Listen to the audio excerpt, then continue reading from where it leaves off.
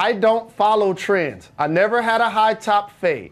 I never had a Jheri curl. I never wore a beaded jacket. I never thought about putting a glove on my hand. I never show my Achilles when I wear suits. I don't wear pants where I can't put my hands in my pocket. I don't follow trends.